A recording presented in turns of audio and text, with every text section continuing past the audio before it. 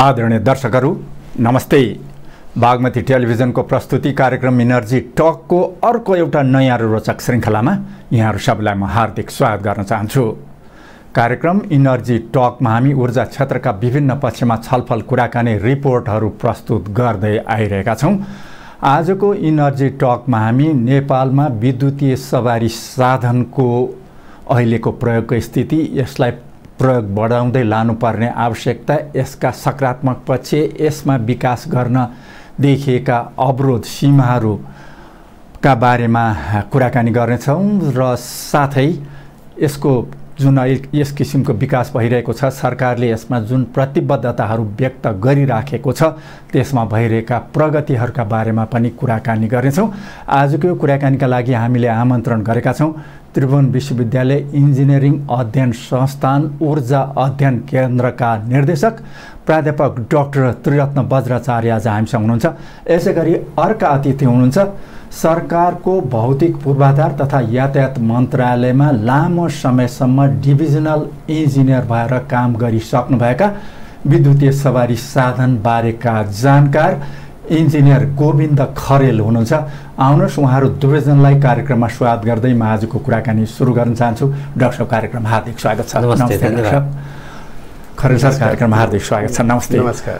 कुराकानी सुरु गरौँ डाक्टर साहब अब अहिले अब यो वायु प्रदूषण वातावरण प्रदूषण विश्वकै गम्भीर चिन्ता र चासोको विषय भएको छ। नेपालमा पनि त्यही किसिमका समस्याहरू देखा परेका छन्। खास गरी काठमाडौँ जस्ता सहरी क्षेत्रमा वायु प्रदूषणले ठुलो समस्या ल्याएको छ।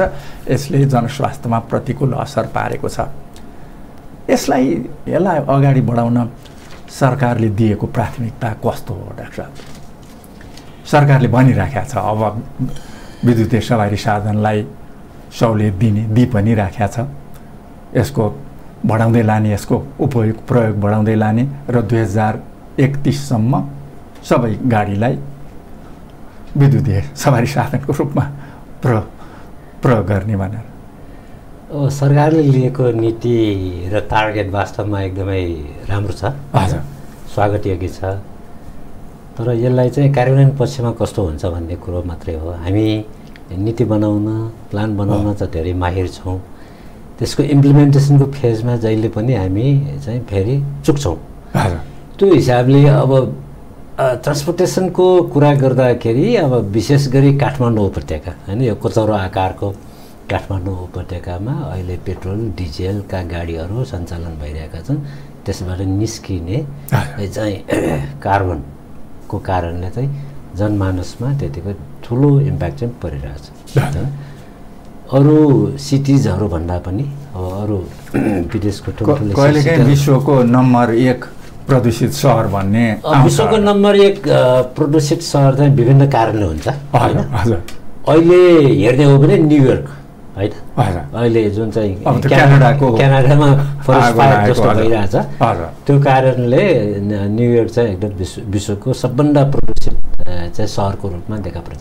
त्यस्तै कारण पनि हामी कहाँ पनि हुने गर्छ जुन चाहिँ अब चाहिँ हाम्रो वन जङ्गलको जुन विनाश त्यसपछि त्यहाँ त्यहाँ लगाइएको आगोको कारणले समय समयमा यस्तो हुन्छ। तर हामी कहाँ यो वायु प्रदूषण हुने चाहिँ थुप्रै कारणहरू छन्। एक त एउटा ट्रान्सपोर्टेसनको जुन चाहिँ भेहिकल एमिसनको कारणले हुनेछ। अर्को एउटा ठुलो पार्ट भनेको फेरि धुलो धुलो धुलोको कारणले पनि हुने गर्छ। अब यहाँ सरकारले लिएको नीति चाहिँ अब विशेष गरी चाहिँ अब यो कार्ब कार्बन उत्सर्जनलाई कम गराउने मात्र नभएर हेर्ने हो भने अब हाम्रो आर्थिक अवस्थाको कारणले गर्दाखेरि हामीले जति पनि चाहिँ विदेशी मुद्रा आर्जन गर्छौँ। त्यो सबै पेट्रोलियम प्रडक्ट्स चाहिँ हामी आयात। गर्नमा खर्च गर्छौँ। त्यो कारणले पनि अहिले लिएको चाहिँ नीति र योजना त्यो चाहिँ स्वागत योग्य छ। यसलाई चाहिँ इम्प्लिमेन्टेसन फेजमा चाहिँ राम्रोसँग लानुपर्छ जस्तो लाग्छ। जस्तो अहिले अब वार्षिक रूपमा सोह्र प्रतिशतले विद्युतीय सवारी साधनहरूको वृद्धि भइराख्या भनिएको छ अब तथ्याङ्कले। यो कस्तो हो डाक्टर साहब? सोह्र प्रतिशत इन द सेन्स अहिले अब पब्लिक चाहिँ ट्रान्सपोर्ट सिस्टममा भर्खर भर्खर मात्र सुरु भएको छन्। होइन? धेरै त अब निजी प्रयोगका लागि मात्रै कार्यालयहरूले निजी कार। हजुर निजी कार। निजी कार अब पब्लिक बसको रूपमा जुन साझा यातायातले अहिले चालिसवटा जुन चाहिँ इलेक्ट्रिक बसहरू सञ्चालन गरेका छन्। होइन? त्यो एकदमै राम्रो चाहिँ हो जस्तो लाग्छ। अरू एक दुईवटा प्राइभेट ट्रान्सपोर्ट कर्पोरेसनहरूले उहाँहरूले पनि ल्याउनु भएको छ एउटा यो नमुनाको रूपमा। तर विशेष गरी चाहिँ अहिले चाहिँ अब निजी कारहरू जुन चाहिँ यति धेरै मात्रामा काठमाडौँमा थुप्रिएका छन्। होइन तिनीहरूलाई बिस्तारै यसलाई चाहिँ रिप्लेस गर्दै जाने वातावरण चाहिँ हुनुपर्छ जस्तो लाग्छ। एउटा स्वागतीयको कुरा के भन्छ नि यो अहिले यो साझाको रूपमा जुन चाहिँ ट्याक्सीहरू सञ्चालन भइरहेका छन् पुराना ट्याक्सीहरूलाई रिप्लेस गर्नलाई अब यो चाहिँ इलेक्ट्रिक चाहिँ कारहरूले रिप्लेस पनि गरिरहेछन् त्यो एकदमै। राम्रो कुरो हो यसलाई चाहिँ बढाउँदै लैजानुपर्छ जस्तो अहिले जुन पेट्रोल प्रयोग गर्ने डिजेल प्रयोग गर्ने सवारी साधनहरू छन् तिनलाई अब विद्युतीय गाडीको रूपमा प्रयोग गर्न यो प्राविधिक रूपले कति अप्ठ्यारो छ डाक्टर साहब यसो हेर्दाखेरि प्राविधिक रूपले यो सम्भव छ। तर चाहिँ के भनेदेखि अब विभिन्न प्रकारका विभिन्न ब्रान्डका गाडीहरू हुन्छन् होइन? त्यसलाई चाहिँ कन्भर्सन गर्न अब इलेक्ट्रिक गाडीमा कन्भर्सन गर्न चाहिँ कस्टमाइज डिजाइनहरू चाहिन्छ। प्रत्येकलाई छुट्टै। छुट्टै छुट्टै डिजाइनहरू चाहियो। त्यसलाई क्यालकुलेसन गर्नु पऱ्यो। अब होइन अब इन्जिनलाई झिकेर अब इलेक्ट्रिक मोटर राख्ने होइन? सस्पेसनहरू चाहिँ त्यही नै राख्ने त्यस्तो यस्तो कुराहरू मात्र गरेर पुग्दैन। फेरि त्यसको चाहिँ अब हाम कसले टेस्ट गर्ने। होइन? किनभने यो संवेदनशील विषय हो। गाडी चाहिँ अब कार गाडीको कारणले धेरै चाहिँ अप्रिय घटनाहरू पनि हुन सक्छन् हो, हो। होइन? एक्सिडेन्टहरू हुन सक्छन्। गाडी गाडी आफै सेफ भएन भने त्यसले दिने सेवा त मिलेन। मिलेन। त्यसको लागि अब सेन्टर अफ ग्राभिटी भन्छ होइन? विशेष गरी चाहिँ अब सेन्टर अफ ग्राभिटी प्रत्येक चाहिँ कारमा चाहिँ कार गाडीहरूमा चाहिँ क्यालकुलेट गर्नुपर्ने हुन्छ त्यो अनुसार। तर अब यसको थालनी नभएको होइन। होइन? थालनी नभएको होइन। जस्तै म जुन संस्थामा छु त्रिभुवन विश्वविद्यालय इन्जिनियरिङ अध्ययन संस्थान। अहिले पुल्चोक क्याम्पस ऊर्जा अध्ययन केन्द्रमा हामीले विद्यार्थी मार्फत कन्भर्सनका कार्य कामहरू चाहिँ गर्न थालेका छौँ। होइन? त्यो एक किसिमले म्यान पावर चाहिँ तयार गर्ने हिसाबले पनि त्यसलाई नलेज दिने बेला त्यो यो कमर्सियल रूपमा होइन एउटा रिसर्चको रूपमा चाहिँ अगाडि बढाएका छन्। यसलाई यो जिआइजेडले जिआइजेडको चाहिँ रिप भन्ने प्रोग्राम छ। उहाँहरूबाट हामीलाई यो चाहिँ निसान गाडी पिकअप गाडी दिनुभएको थियो अनि चाहिँ किटहरू पनि दिनुभएको थियो। त्यसलाई विद्यार्थी मार्फत हामीले कन्भर्सन गऱ्यौँ होइन? त्यस्तै अब इलेक्ट्रिक बाइक पनि कन्भर्सन। त्यसै अर्को हाम्रो क्याम्पस अब थाप्टालीमा पनि त्यो काम भइरहेछ अनि पश्चिमाञ्चल क्याम्पस पोखरामा पनि कामहरू भइरहेछ। यस्तै कामहरू अब काठमाडौँ विश्वविद्यालयले पनि थालिने गरेको थियो र अब अब आविष्कार यस- यसरी अब अध्ययन भयो भने अब यो त्यसपछि यो रिसर्च अर्गनाइजेसन बाहेक अब यो आविष्कार केन्द्र भने अब। सबैलाई हामी सबैलाई थाहा। हजुर त्यहाँ पनि अब नेपाली सेना र उहाँहरू मिलेर केही चाहिँ जिपहरू कन्भर्सन गर्ने कामहरू भयो नो हाउ चाहिँ बनिसकेको छ तर यसलाई पनि अब अगाडि बढाउन अगाडि बढाउन आवश्यक चाहिन्छ। हजुर अब बृहत रूपमा अगाडि बढाउनु जरुरी छ।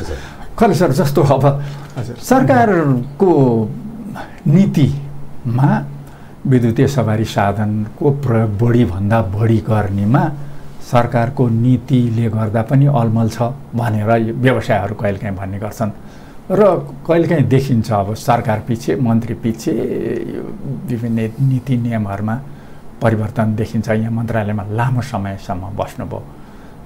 सरकारको प्रतिबद्धता कति हो? अब छ।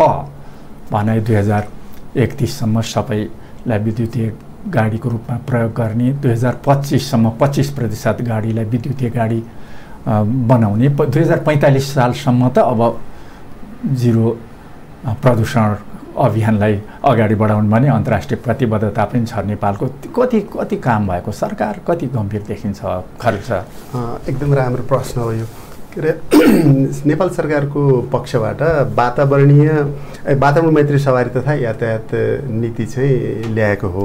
त्यो चाहिँ दुई हजार एकहत्तर सालमै ल्याएर त्यसमा चाहिँ दुई हजार तिससम्म होइन पहिला चाहिँ दुई हजार तिससम्म चाहिँ धेरैजसो सवारी साधनहरू साना तथा मजौला सवारी साधनहरूले चाहिँ विद्युतीय सवारी साधनमा परिवर्तन ल्याउने अनि इन्धनबाट चल्ने सवारी साधनहरू घटाउँदै लैजाने प्रदूषण कम गर्ने भन्ने यस्ता नीति। अनि यातायात व्यवस्था ऐन याता के अरे सवारी तथा यातायात व्यवस्था ऐन र सवारी तथा यातायात व्यवस्था नियमावलीमा ती कुराहरू चाहिँ पहिले समितिको अवस्था थिएन। तिनीहरू धेरै भनौँ बिसौँ वर्ष पुराना ऐन भएको हुनाले यो नीति चाहिँ ल्याइएको थियो। एकातिर सरकारले चाहिँ नेपालभरि विद्युतीय सवारी साधन चलाउनुपर्छ भन्ने यसरी एउटा नीति लियो।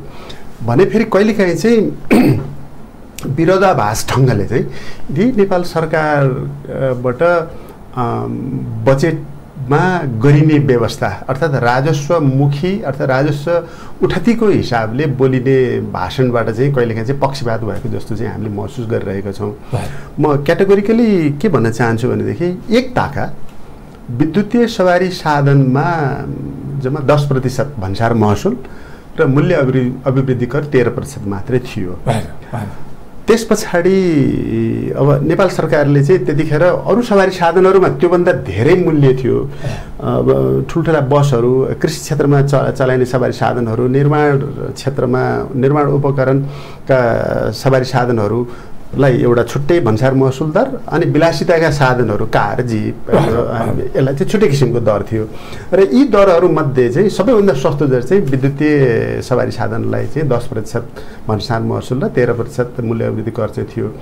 तर कालान्तरमा विभिन्न समयमा जब सवारी साधनहरू आयात हुँदै गए नेपालमा चाहिँ त्यो यहाँ उत्पादन नहुने बाहिरबाट हामीले आयात गर्नुपर्ने हुने हुनाले सरकारले चाहिँ धेरैजसो ठुलो राजस्वको अंश चाहिँ सवारी साधनमा दुई सय चालिस प्रतिशतसम्म भन्सार विभिन्न करहरू है सडक कर स्थानीय कर मूल्य वृद्धि कर भन्सार महसुल अन्तशुल्क कर यावत चिजहरू। अब अन्तशुल्क कर चाहिँ कहिलेकाहीँ घटाउने बढाउने त्यस्तो पनि भइराखेको थियो। त्यसकारण स आयातित सवारी साधनहरूमा लगाउनुपर्छ भन्ने मान्यताले पनि त्यो काम गरेको हुनसक्ला। तर त्यसका यो एउटा एउटा पार्ट हो। तर यसले कतिवटा अप्रत्यक्षहरू असरहरू गरेको हुन्छ र हामीलाई कसरी खोक्रो बनाइरहेको छ भन्ने कुरामा पनि त्यो सोचेको हुनुपर्छ सरकारले तर हामी जस्ताले चाहिँ हामी जस्तो साधारण जनताको हिसाबले भन्छु म अहिले चाहिँ आफूलाई। ले सोच्दाखेरि त्यसरी कर लगाएर राजस्वमुखी हुँदाखेरि चाहिँ दुई तिनवटा कुराहरूमा त्यसले चाहिँ धेरै ठुलो नोक्सानी पुऱ्यायो हामीले लगभग एक सय सत्तरी अर्बदेखि दुई सय अर्बको करिब दुई खर्ब जतिको चाहिँ इन्धन नै आयात गर्छौँ। पेट्रोलियम पदार्थ? गर- गर्छौँ अथवा त्योभन्दा बढ्दा पनि गरिरहेका छौँ। एकातिर त्यो एउटा अर्कोतिर यति त्यत्रो परिवर्तीय विदेशी मुद्रामा आयातित इन्धन जलाएर जुन पल्युसन हामीले चाहिँ खाइरहेका छौँ त्यसले अर्को एउटा नकारात्मक असर। अनि परिवर्तित विदेशी मुद्रा पनि हामीले यत्रो कमाएका छौँ त्यो सबै हामीले अरूलाई चाहिँ तिर्न गरिरहेका छौँ। अनि यसका अप्रत्यक्ष असरहरू चाहिँ यसरी छन्। यदि यही सवारी साधनहरूलाई चाहिँ हामीले करको एउटा राजस्वमुखी नभएर सामान्य एकदम न्यूनतम कर जस्तो लगाइदिए भन्सार महसुल अर्थात् अन्य कर लगाइदिएर तेल चाहिँ प्रतिस्थापन आयात प्रतिस्थापन गर्ने र नेपालमै उत्पादित भएको चाहिँ बिजुली चाहिँ प्रयोग गर्ने गऱ्यो भने त्यसले अर्को एउटा चाहिँ प्रत्यक्ष असर गर्न सक्थ्यो होला मैले एउटा यसमा मैले यो भन्न यहाँ जरुरी लाग्छ एउटा तथ्याङ्क जस्तै। एउटा कारले एउटा कार एउटा इन्धन पेट्रोल कारले चाहिँ। एउटा पेट्रोल कार हामीले किन्यौँ बिस लाख रुपियाँमा किन्यौँ बिस लाख त हाम्रो एउटा नेपालीको भयो नि मान्यो त्यो त्यो सबै गरेर कर सर गरेर मैले एउटा उदाहरण मात्रै यहाँ प्रश्न। गर्न खोजेको छु त्यो त्यो कार सत्र अठार लाख पनि पाइएला नयाँ होइन? त्यो अब तिस एक करोडसम्म पनि त्यो एउटा कार पाइएला। जिपको लेभलसम्म। तर मैले एउटा सामान्य चाहिँ कारको हिसाब गर्दाखेरि बिस लाख रुपियाँ पर्ने कारको हिसाब गर्दाखेरि र एक दिनमा त्यो एउटा निजी कारले साठी किलोमिटर दौडिन्छ भन्ने मान्यतामा मान्यतामा चाहिँ मैले चाहिँ त्यो हिसाब गर्दाखेरि वर्षमा तिन सय दिन मात्रै चलाउँछ भन्ने मान्यता गर्नु। किन पैसा रिपेयर गर्नु पऱ्यो मेन्टेनेन्स गर्नु। मान्छे कहिले काहीँ आराम गर्छ सुत्छ बिदाको दिन। त्यसो गर्दाखेरि वर्षमा चाहिँ अठार हजार किलोमिटर चाहिँ चल्दो रहेछ। एउटा कार। अनि त्यो अठार हजार किलोमिटर चल्ने कार चाहिँ एक लिटरबाट दस किलोमिटर पेट किलोमिटर चाहिँ उसले गुड्छ भन्ने मान्यतामा। हिसाब गर्दाखेरि एक वर्षमा उसले अठार सय लिटर चाहिँ त्यो चाहिँ तेल- खपत गर्दो। एक वर्षमा अठार सय लिटर तेल खपत गर्दा र अठार सय लिटरको अहिले एक सय रुपियाँ एक सय पचहत्तरको दरले हामीले कायम गर्दा पनि एक वर्षमा तिन लाख पन्ध्र हजार रुपियाँ हामीले खर्च गर्दछौँ तेल बाल्नलाई मात्रै। यदि दिनमा साठी किलोमिटर मात्रै तर सबैले साठी किलोमिटर कुदाउँछन् भन्ने पनि छैन। कसैले बिस किलोमिटर कुदाउँछन् कसैले तिस कसैले डेढ सय किलोमिटर कुदा- कुदाउँछन्। एभरेजमा साठी किलोमिटर मैले लिएर हिसाब गर्दाखेरि वर्षको चाहिँ उसले तिन लाख पन्ध्र हजार रुपियाँ खर्च रहेछ एउटा पेट्रोलमा। र बिस वर्ष एउटा सवारी साधनको आयु चाहिँ हाम्रो ऐनले नै व्यवस्था गरिदिएको हुनाले हिसाब गर्दाखेरि पाँच वर्षसम्म सम्म चाहिँ चाहिँ उसले त्यो अठार सय किलोमिटर जति चाहिँ ऊ के अरे अठार हजार किलोमिटर चल्छ अथवा अठार सय लिटर भए पुग्छ भन्ने हिसाबमा भयो त्यसभन्दा पछाडि चाहिँ बिस वर्ष अलिक त्योभन्दा कम हुन्छ। गर्दाखेरि एक वर्षमा तिन लाख पचा पन्ध्र हजार के रुपियाँ चाहिँ पेट्रोलमा खर्च हुन्छ तर बिस वर्षलाई मैले एभरेज लिँदाखेरि चाहिँ दुई लाख पचास हजार लिएँ तिन लाख पन्ध्र हजारबाट पनि घटाएर। बिस वर्षमा गर्दाखेरि वर्षमा उसले चाहिँ पचास लाख रुपियाँ खर्च गर्दो रहेछ हेर्नुहोस् है। बिस वर्षमा एउटा कारले। लाइफ साइकल हजुर लाइफ साइकल पचास लाख चाहिँ इन्धनमा। अझ मैले मोबिलको रिपेयर मेन्टेनेन्सको। टायरको विभिन्न भित्रको अनि ब्याट्रीको बारेमा केही गरेको छैन। अनुमान के गरेँ भने त्यो पचास लाखभित्र मोबिल टायर सारा चिज सबै मेन्टेनेन्स गरेर। ड्राइभरको कस्ट पनि सबै गरेर गर्दाखेरि पनि अनि मानिलिउँ हामीकोमा चाहिँ अहिलेसम्म छत्तिस अडतिस लाख गाडीहरू रहेछन् सवारी साधनहरू। त्यसको दस पर्सेन्ट भनेको छत्तिस हजार त पक्कै पनि कारजीव छन् भन्ने एउटा एजम्सन गरौँ। छन् छन्। होइन? अनि त्योभन्दा बढी नै छत्तिस हजार। मैले अनि एउटा। छत्तिस हजारलाई पनि मैले घटाएर। जम्मा चाहिँ चारै हजारको पनि हिसाब गर्दाखेरि चार हजारको हिसाब गर्दाखेरि वर्षको पचास लाखले बिस अर्ब रुपियाँको इन्धन चाहिँ हामीले काहीँ नभएको एकदम नगण्य रूपमा युज गर्दो रहेछौँ भन्ने एउटा मैले निकालेँ चार हजार छत्तिस हजार जिप र कारहरूबाट चार हजारमा ल्याउँदा बिस अर्बको तेल मात्रै युज मात्रै गर्दो रहेछौँ अहिले अब मोटर कारहरू नै तिन चार लाख पुगिसक्यो। पुगिसक्यो। पुगिसक्यो। हामी तिन चार लाख अब मोटरसाइकलको हिसाब गर्ने हो भने त दुई पाङ्रे हिसाब गऱ्यो भने त त्यो बिस लाख जति पुगिसक्यो। पुगिसक्यो। त्यसैले अब थुप्रै रकम खर्च हुन्छ प्रदूषण त्यही मात्रामा बिस अरबको इन्धन चाहिँ हामीले पेट्रोल मात्रै बाल्दै एउटा कारको हिसाब गर्दा के अरे अँ। चार हजार कारको हिसाब गर्दाखेरि। तर मैले यो चाहिँ एउटा उदाहरण मात्रै पेस गरेको। हुँ। अब यसले कति पल्युसन युज गर्छ भन्दाखेरि एक लिटर पेट्रोल बाल्दाखेरि टु पोइन्ट फोर किलोग्राम चाहिँ पल्युसनहरू चाहिँ कम्बसन गरेर बाल्दो रहेछ। एक वर्षमा तिन साढे तिन टन उत्पादन गर्दो रहेछ। त्यो साठी किलोमिटर मात्रै दौड्दा अँ, दिनको। बिस वर्षमा उसले चाहिँ अडसठी टन कार्बन डाइअक्साइड चाहिँ उसले हामीलाई चाहिँ योगदान दिन्छ नराम्रो गरी। त्यत्रो उत्पादन गर्दो रहेछ। यति- प्रदूषण चाहिँ यसले। गरिरहेको छ। एउटा म फेरि आउँछु। सर। एउटा डाक्टर साहब जस्तो उहाँले भन्नुभयो जस्तो धेरै हानि छ। विश्व स्वास्थ्य सङ्गठनले भनिराखेको छ यो नेपालमा प्रदूषणका कारणले थुप्रै मानिसहरूको ज्यान गइरहेछ जनस्वास्थ्यमा प्रतिकूल असर गरिरहेछ भने हामी प्रत्यक्ष देखिरहेछौँ। तर खास रूपमा अब यो यसमा प्रदूषण बढाउन सवारी साधनहरू प्रमुख माध्यम रहेका छन्। तैपनि अलि मान्छेको विद्युतीय सवारी साधनतिरको आकर्षण चाहिँ अझै त्यति देखिँदैन नि होइन डाक्टर? अब वास्तवमा सबै प्रयोगकर्ताहरूले जुन चाहिँ भेहिकल प्रयोगकर्ताहरूले त्यो महसुस चाहिँ गरिसकेको छ। अब विद्युतीय सवारी साधनमा हामी स्विच हुनुपर्छ भन्ने खालको गरिसकेको छ। एउटा बाध्यकारी के छ भनेदेखि अहिले अहिले जुन उपलब्ध त छ। अहिले पेट्रोलियम प्रडक्ट्सको चाहिँ उपलब्ध जहाँ गएर भएर पनि हुनुभयो जुन बेला सजिलो छ। सजिलो छ। त्यो कुरो चाहिँ अहिले विद्युतीय कारमा भइसकेको विद्युत सवारी साधनमा हुन सकेको छैन। एक किसिमले अब लङ रेन्जमा चाहिँ गाह्रो छ। होइन? अब घरायसी पर्पोज रेसिडेन्सियल पर्पोज त्यसपछि निजी कार। होइन? काठमाडौँमा मात्र चलाउने दुई सय किलोमिटरभन्दा बढी नजाने त्यस्तो कालो हो भने चाहिँ अब घरमा चार्ज गर्दा पनि भयो। होइन? तर चाहिँ अब धेरै मान्छेहरू बाहिर गइराख्ने यस्ता होला। चाहिँ अब। यो विद्युतीय कार चाहिँ हुँदैन कि भन्ने खालको। चार्जिङ स्टेसनको डेभलपमेन्टमा अलग्गै सुस्तता आएकोले त्यो चाहिँ अलि अलि मान्छेलाई रिलक्ट्यान्ट भएको एउटा कुरो त्यो अर्को कुरो चाहिँ विश्वसनीयता चाहिँ अहिले यो चाहिँ प्रयोग भएको ब्याट्री ब्याट्रीको लाइफ चाहिँ कति हुन्छ भन्ने चाहिँ अहिले सबै पुरै एक साइल चाहिँ साइकल चाहिँ गइसकेको छैन। कति वर्षसम्म यसले ढाङ्ला त्यसपछि पुरै त्यो त्यो ब्याट्रीलाई चाहिँ रिप्लेस गर्न कस्ट कति लाग्छ। भन्ने एउटा चाहिँ अलिकति मान्छेमा चाहिँ त्यो चाहिँ कौतूहलता छ। त्यसकारण चाहिँ अब पुरै स्विच ओभर गर्ने कुरामा चाहिँ गाह्रो भइरहेको। जस्तो लाग्छ। एउटा खरेल सर जस्तो जनचेतना जगाउन। यसो यहाँले भन्नुभयो जस्तो प्रदूषणमा यसरी असर गर्छ। अब लागत पेट्रोल एक लिटरको यहाँले भन्नुभयो एक सय पचहत्तर छ अहिले। अब दस किलोमिटरको यहाँले हिसाब गर्नुभयो। अब यता पेट्रोल यता विद्युतीय सवारी साधनहरूको त यसमा धेरै नै कम। एकदम। यसको तुलनामा एकदम कम लाग्छ।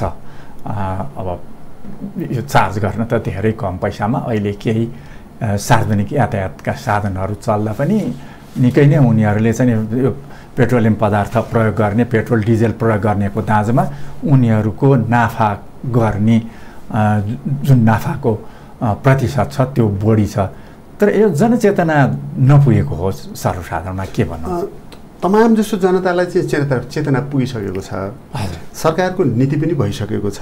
तर त्यही सरकारले चाहिँ राजस्वको करको करको दायरा बढाइदिएर आयातकर्तालाई अलिकति अवरोध गरिदिएको र त्यो आयातकर्ताले महँगो दरमा आयात गरिसकेको सवारी साधन चाहिँ उपभोक्ताको रूपमा जनताले किन्न पनि महँगो महसुस गरेको। त्यस्तो। स्थिति छ अहिले चाहिँ। अनि म के भन्न चाहन्छु भने म त के भन्न चाहन्छु के चाहन्छु भने दस प्रतिशत भन्सार महसुल पनि धेरै महँगो हुन्छ। एक पर्सेन्ट गरिदिए हुन्थ्यो भ्याट जिरो गरिदिए हुन्थ्यो। त्यसले यति फाइदा हुन्छ कि? मान्छेले अनि विदेशबाट आएको सवारी साधनहरू धेरै सस्तो पर्छ। एक पर्सेन्ट तिर्दाखेरि मानिलिउँ बिस लाखको सवारी साधन चाहिँ तेस्रो मुलुकबाट ल्याउँदाखेरि हामीले यहाँबाट एक्काइस लाख बाइस लाखमा किन्छौँ। वा पच्चिस लाखसम्म किन्छौँ। त्यो किन्दा हामीलाई सस्तो पनि पर्छ। अनि हरेक वर्ष हामीले चाहिँ त्यत्रो भनौँ न कति लाखको चाहिँ पचास लाखको तेल किन्नबाट हामी वञ्चित रहन्छौँ। तर अब रहेको कुरा त्यो चाहिँ लिथियम फस्फेट लिथियम आइरन फस्फेटको ब्याट्री जुन छ लिथियम आयन ब्याट्री भन्छौँ जसको चाहिँ आयुको आयुको बारेमा विभिन्न अनुसन्धानहरू भएको छ। पहिले सात वर्ष टिक्छ भन्थे अहिले बाह्र वर्षसम्म पुग्छ भने। अब अहिले चौध वर्षसम्म पुग्न पुग्न सक्छ भन्ने किसिमले त्यो रिफाइनिङ र ट्युनिङ गर्दै गर्दै त्यहाँसम्म पुर्याएको छ। एउटा कारको ब्याट्री चेन्ज गर्दाखेरि सात लाख जति लाग्छ। जसको आयु भनेको चाहिँ सात वर्षपछि चेन्ज गर्दा सात लाख रुपियाँ तिर्नुपर्छ एउटा सवारी साधन विद्युतीय सवारी साधनको पनि बिसै वर्ष आयु राख्दा राख्ने हो भने पनि हामीले तिनचोटि चेन्ज। गर्नु पर्दाखेरि सातै लाखको दर राख्दा भविष्यमा त्यो दर चाहिँ घट्दै जान्छ। तैपनि अहिलेको सातै लाख रुपियाँ राख्ने हो भने हामीले एक्काइस लाख रुपियाँले चाहिँ हामीले एउटा सवारी साधनको बिस वर्षमा एक्काइस लाख रुपियाँ भन्दा नि सस्तो हुन्छ त्यो ब्याट्री किन्छौँ। तर यहाँ एउटा पेट्रोल कारको अघि मैले भने पचास लाख रुपियाँको त तेल किन्छु भने अझै पनि यो सस्तो पर्छ त्यो चाहिँ यसो सुरुमा बढी पैसा तिर्नु पर्यो। त्यो अब सर्वसाधारणलाई कहिलेकाहीँ अब किन सुरुमै बढी तिर्ने भन्ने अब यो खरिदकर्ताहरूको हो। अहिले- अनि त्रिरत्न सरले भन्नुभएको जस्तो चाहिँ साना सवारी साधनहरू जो चाहिँ हाम्रो भ्यालीभित्र छ जसले चाहिँ दुई सय किलोमिटरभित्रको रेन्ज छ त्यसलाई चाहिँ हामीलाई डर भएन। दुई सय किलोमिटरभन्दा टाढाका रेन्जहरूमा जानु पऱ्यो यहाँबाट धनगढी जानु पऱ्यो या यहाँबाट काँक्रेबिट्टा जानु पऱ्यो भनेदेखि पाँच सय छ सय किलोमिटर जतिको यात्रा तय गर्नुपर्छ त्योभन्दा बढ्दा। त्यस्तो अवस्थाका लागि पनि के गर्ने भन्ने चाहिँ कौतूहलता चाहिँ छ। उकालोमा तान्छ कि तान्दैन भन्ने कौतूहलता चाहिँ जनतामा छ। तर यो सबै कुराबाट जनताले चाहिँ आफ्नो मन के अरे हटाइदिए हुन्छ। किनभने उकालो पनि तान्छ र त्यति किलोमिटर तर बिचमा चाहिँ चार्जिङ स्टेसनको पूर्वाधार चाहिँ हामीले बनाउनु पर्ने स्थिति छ। त्यसका लागि विद्युत प्राधिकरण निजी क्षेत्रकाले पनि बनाइरहेका नै छन् होइन? उनको अँ। आफ्नो अनुसार। अब यसमा नेपाल सरकारले विद्युत प्राधिकरणले त अझ लाग्ने महसुलभन्दा त्यसलाई अझ धेरै सस्तो महसुलमा दिएर यो यसलाई चाहिँ उत्साहित गरिरहेको स्थिति छ। जनता सचेत छन् तर अवरोध के भयो भन्दाखेरि नेपाल सरकारले नीति पनि ल्याइदिएको छ। त्यही नेपाल सरकारको चाहिँ बजेट भाषणमा जहिले पनि यसलाई महँगो गरेको छ अहिले चाहिँ कुनै पनि कुनै पनि नेपाली जनताले चाहिँ म विद्युतीय सवारी साधन किन्छु भनेर लाग्यो भने चाहिँ महँगो पर्ने स्थिति छ। अब यसलाई मैले अलिकति अर्कोतर्फ पनि के म जोड्न खोजेँ भने यसमा नेपाल सरकारको त्यो एउटा बजेट तयार गर्ने नेपाल सरकारको एउटा संस्था छ। त्यो संस्था मात्रै यसमा इन्भल्भ भएको हो जस्तो मलाई लाग्दैन। विगतदेखि नै इन्धनबाट चल्ने सवारी साधनहरू जसले यहाँ आयात गर्नुभएको छ एजेन्ट्स हुनुभएको छ डिलर्स हुनुभएको छ। उहाँहरूले पनि हाम्रो ब्या- हाम्रो खाइ खाने हाम्रो माल लाग्ने पेसामा चाहिँ धक्का लाग्यो भन्ने हिसाबले पनि यो गरेको हुन सक्नु प्रभावमा पारेको हुनसक्छ। यसलाई यसरी कर लगाइदिउँ न हाम्रो पनि बिक्री होस्। बिस्तारै आओस् हाम्रो पनि मा मातृ उत्पादन कर्ताले चाहिँ विद्युत सवारी साधन दिउन् अनि। हामी आउनु भनेको पनि हुनसक्छ। यो चाहिँ मेरो अनुमान हो र शङ्का हो। शङ्का गर्ने ठाउँ त छँदैछ। तर पनि नेपाल सरकारले यस्तो शङ्कालाई यस्तो शङ्का दिने ठाउँ दिनुहुन्न।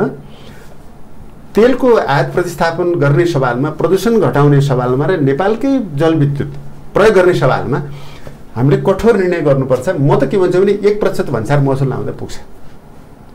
अब अर्कोतिर हेरौँ इन्धनबाट चल्ने कारहरूमा चाहिँ हामीले विभिन्न क्याटेगोरीको दुई सय चालिस प्रतिशतसम्म हामीले कर लगाएका छौँ। त्योभन्दा पनि त्योभन्दा पनि त्यसबाट यति पार्ट्सहरू छ पार्ट्स प्रड्युस कम्पोनेन्ट्सहरू आयो ल्याएको त्यसमा पनि बिस प्रतिशत जति चाहिँ भन्सार महसुल छ। एकातिर त्यस्तो छ। यो सवारी साधनमा रिपेयर एन्ड मेन्टेनेन्स भनेको त्यही एउटा ब्याट्री चेन्ज गर्ने बेलामा अलिक महँगो लागत लाग्न सक्छ। र अब चाहिँ लिथियम आयन ब्याट्री चाहिँ जब हरेक चाहिँ बन्दै बन्दै गएपछि सस्तो हुन्छ।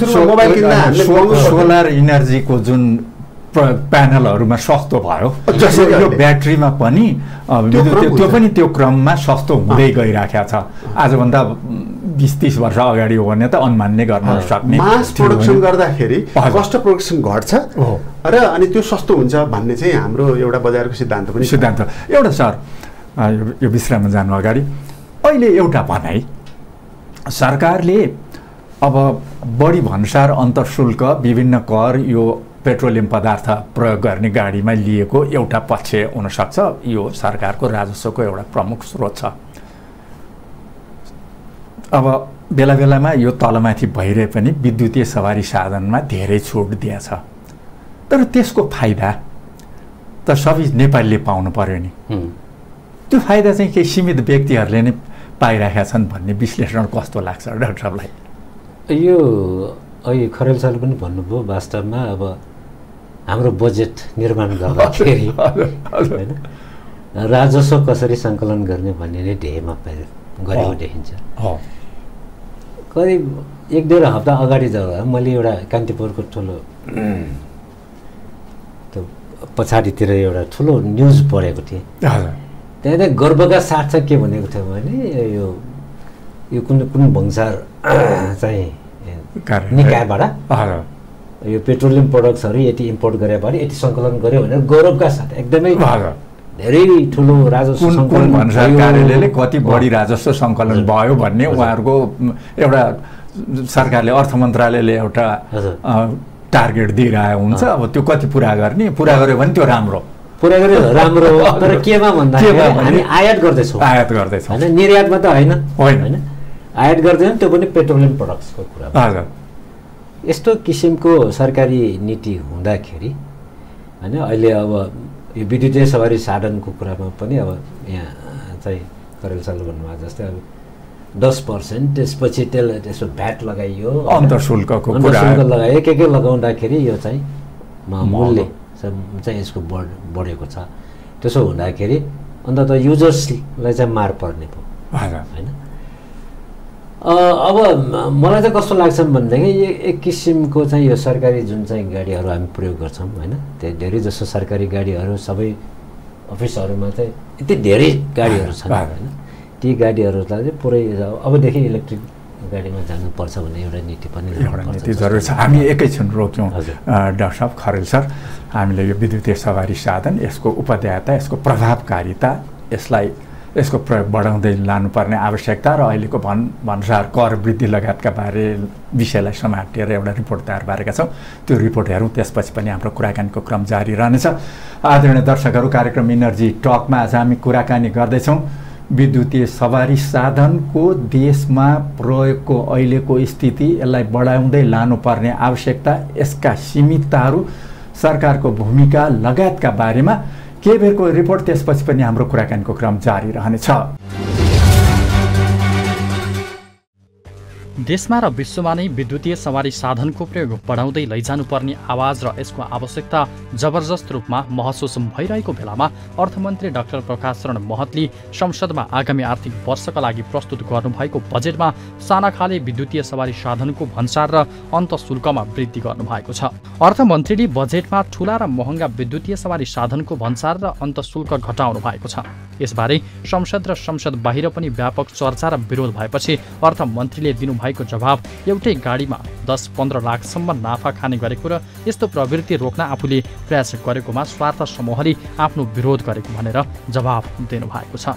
अर्थमन्त्रीले भने जस्तो व्यापारीहरूले एउटै सवारी साधनमा दस पन्ध्र लाख नाफा खाएका हुन् भने त्यसको नियन्त्रण गर्न जरुरी छ। निजी प्रयोगका सवारी साधनहरूमा मात्रै होइन सार्वजनिक सवारी साधनहरूमा पनि सरकारले भन्सार दर एक प्रतिशतबाट बजाएर दस प्रतिशत पुर्याएको छ। विद्युतीय सवारी साधनलाई प्रोत्साहन गर्ने भनेर बारम्बार व्यक्त गरेको प्रतिबद्धताको ठिक विपरीत बजेटमा गरिएको व्यवस्थाले सरकारको भनाइ र गराइमा भिन्नता देखिएको छ। विद्युतीय गाडीको प्रयोग बढाउँदै लैजानु पर्नेमा दुई मत छैन। बढ्दो प्रदूषण नियन्त्रण र जनस्वास्थ्यको रक्षाका लागि मात्रै होइन बढ्दै गएको पेट्रोलियम पदार्थको मूल्य र आपूर्तिको असहजताका कारण पनि विद्युतीय सवारी साधनको प्रयोग बढाउँदै लैजानुपर्ने आवश्यकता छ।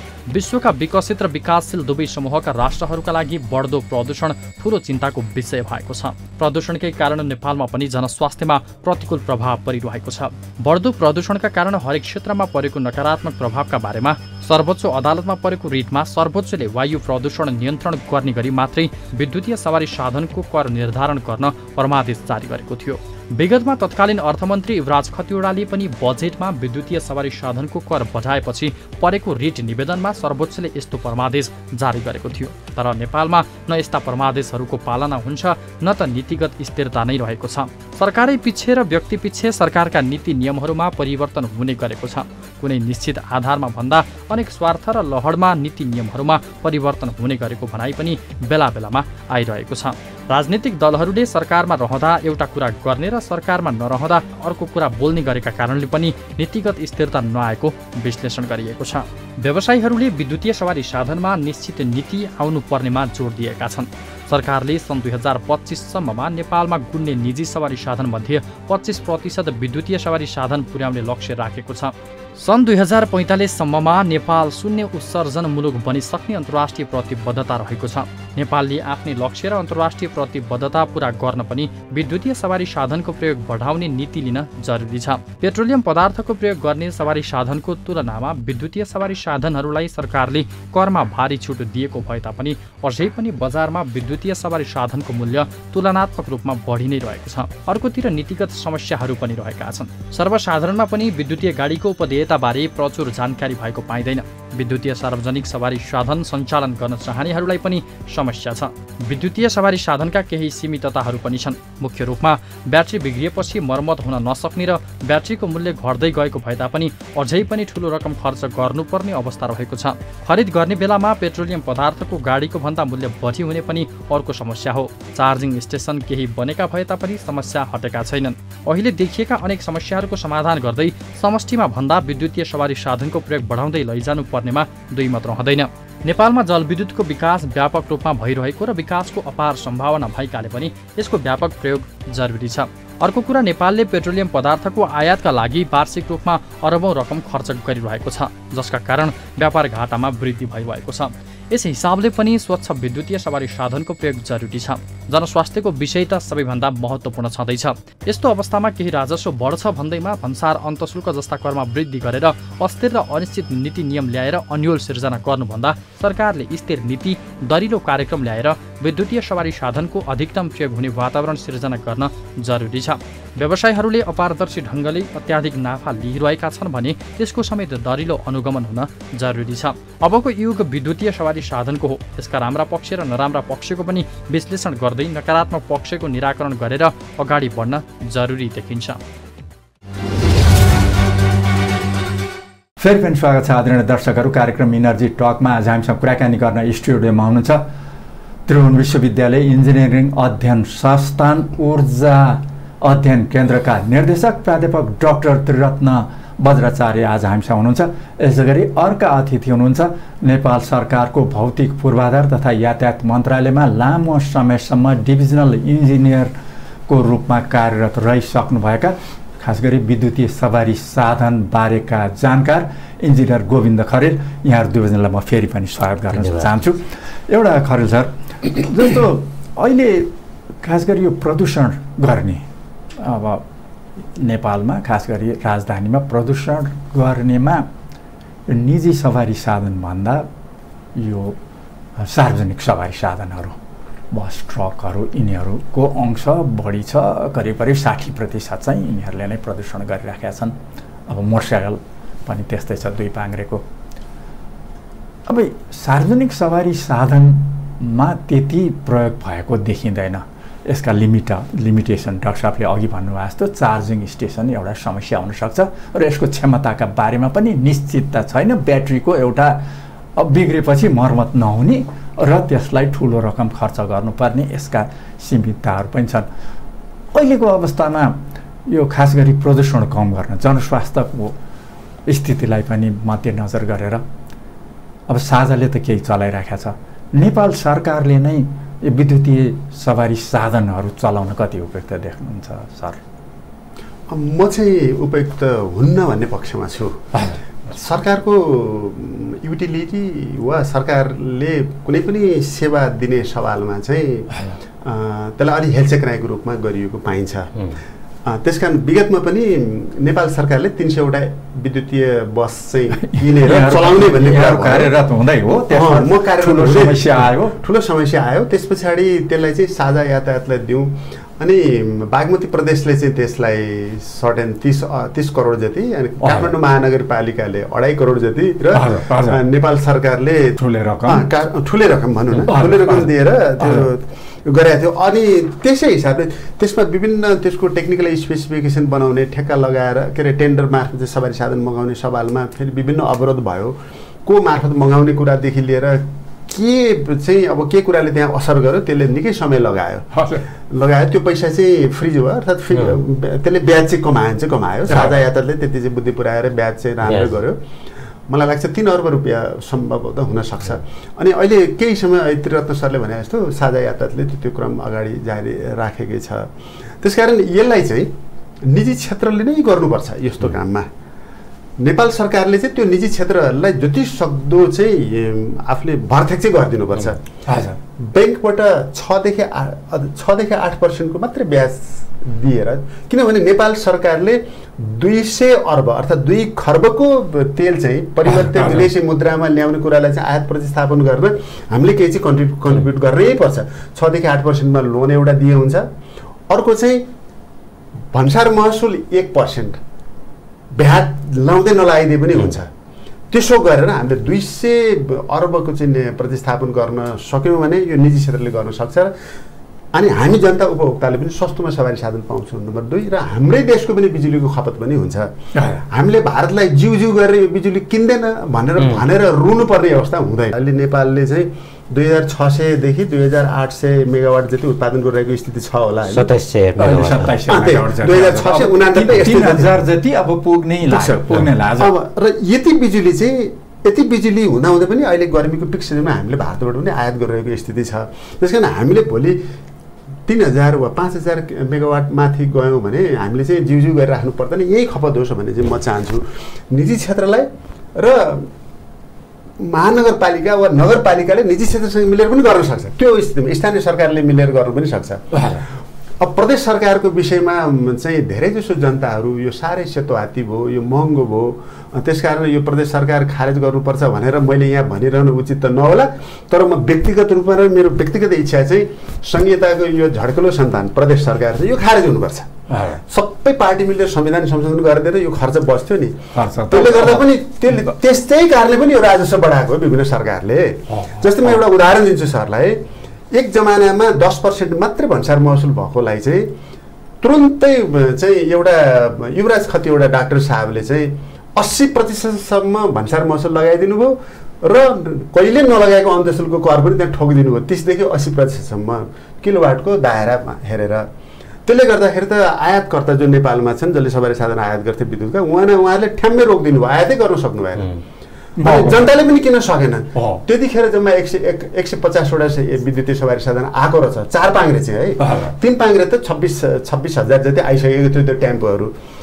अनि त्यस पछाडि उहाँ दुई वर्ष कालमा सिद्धिनु भयो धेरै जनताले हात गरे। किनभने यी राजस्वमुखी भए यी डाक्टर साहेब पनि युवराज कतिवटा भन्ने त्यसमा सर्वोच्चमा रिटै पर्यो। अनि विष्णु पौडेल भन्ने आउनुभयो। विष्णु पौडेलले चाहिँ एउटा राजनीतिक चाहिँ चाहिँ यस्तो बुलन्द निर्णय के गरिदिनु पऱ्यो उहाँले सबै खाल्लाखुर झारेर दसैँ पर्सेन्टमा झारिदिनु भयो।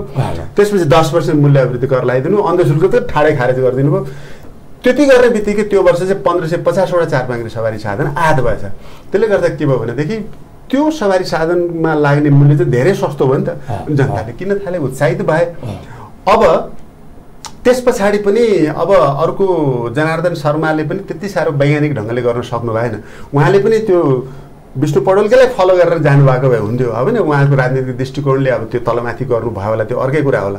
त्यस पछाडि पनि त्यो त्यसलाई अलिकति उहाँले बढ्छ तिन हजार जतिवटा आएछ हजुर जस्तो खरेल सर अब तपाईँ अब चाहिँ विज्ञ त्यहाँ। अब वरिष्ठ सिनियर डिभिजनल इन्जिनियर अब नीति निर्माण गर्ने प्रक्रियामा तपाईँहरूको पनि भूमिका त हुने भयो त्यहाँ प्रक्रियामा। होइन सर अब जस्तो हामी पहिला पनि कुरा गरेका थियौँ त्यो तिन सयवटा विद्युतीय बस खरिद गर्ने बेलामा ठुलै विवाद आयो। अब त्यहाँ विभिन्न स्वार्थहरू खेले भन्ने पनि हो। विश्लेषण गरियो। अब कति खेले अब त्यो मापन गर्ने साधन छैन।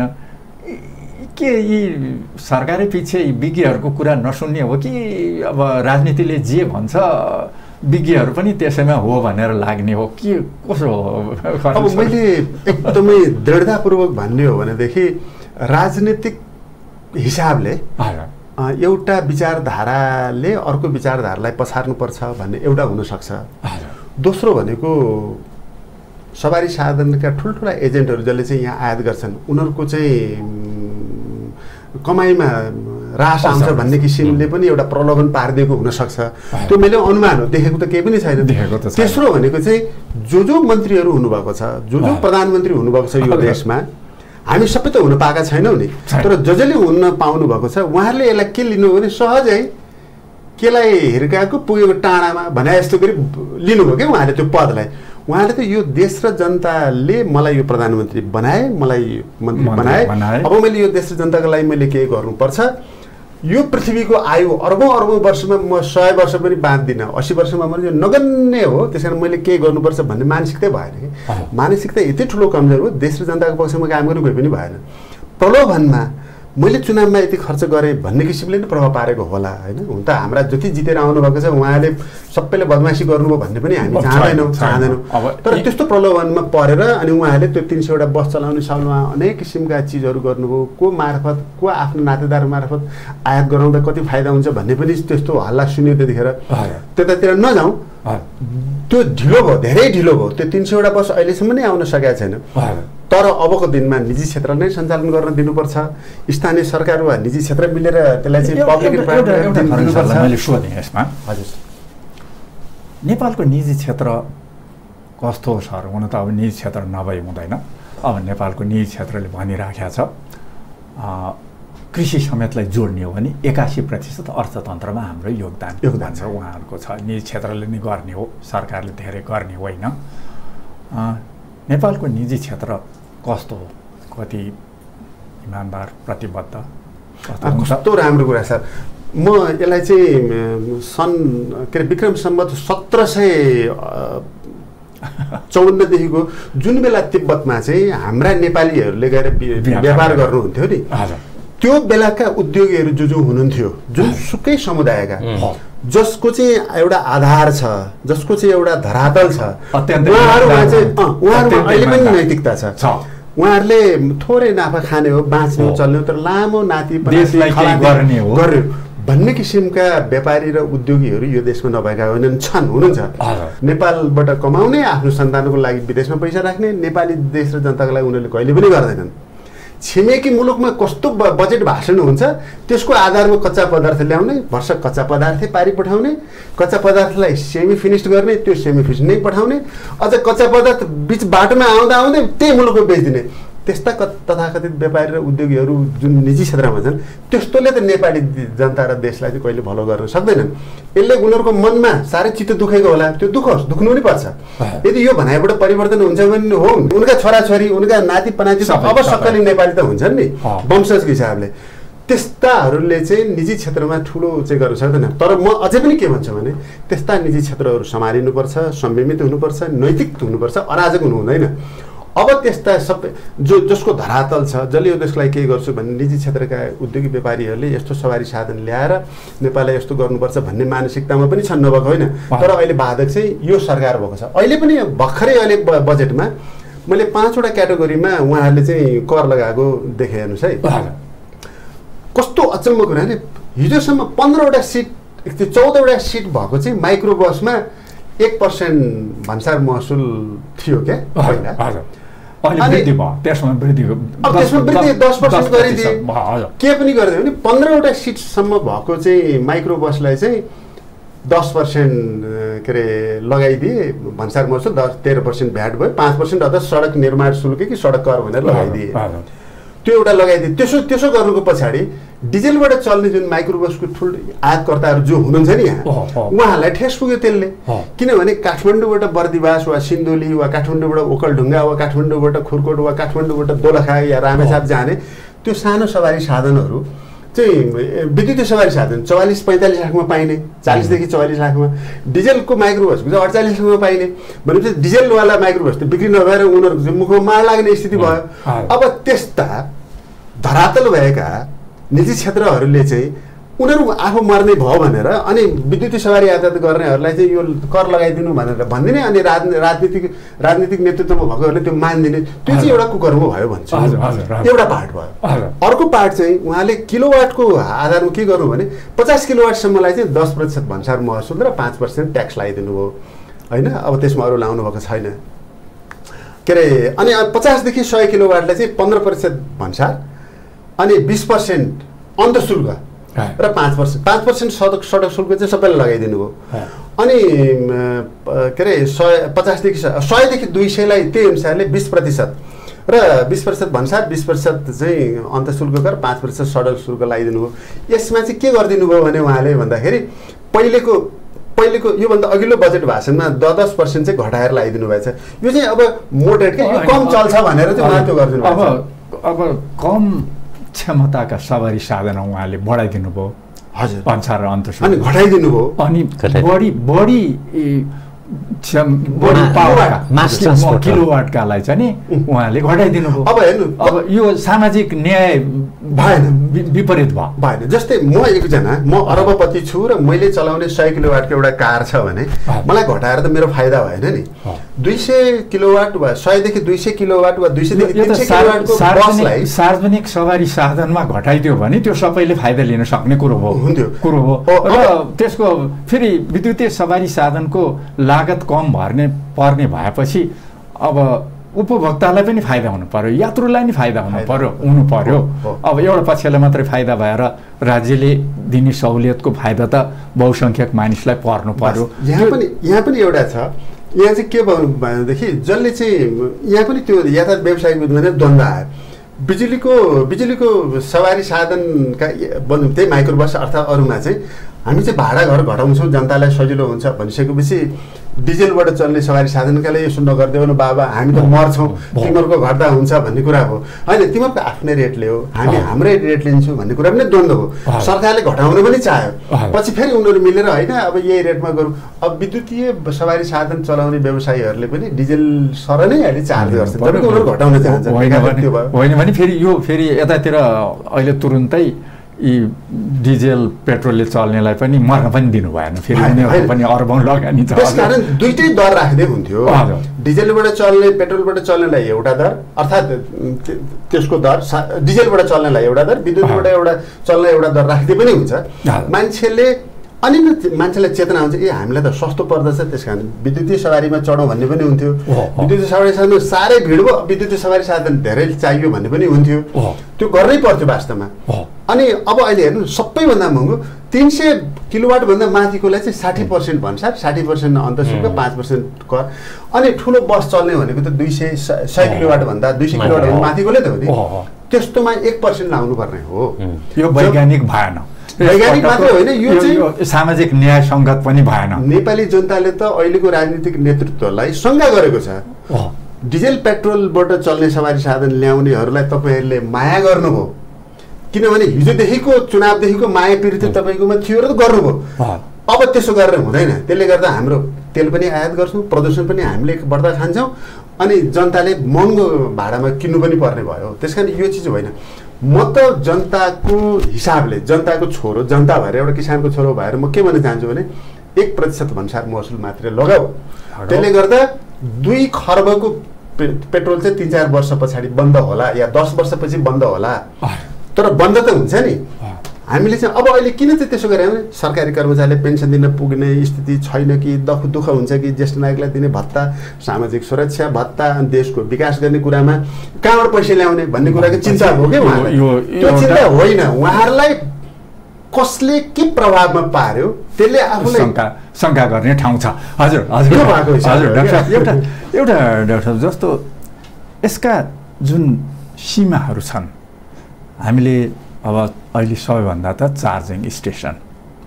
भनौँ त केही बनिराखेको छ। तैपनि अब त्यसमा पनि अब एउटा चार्जिङ स्टेसनले दिउँसभरि गऱ्यो भने पच्चिसवटा गाडी गर्न सक्छ भने। अब त्यसलाई ठुलो ठाउँ चाहियो पार्किङ ल्याएर राख्नु पऱ्यो समय पनि चाहियो। अब अहिले तुरुन्त दुई मिनटमा पेट्रोल हाल्ने सक्ने स्थिति छैन।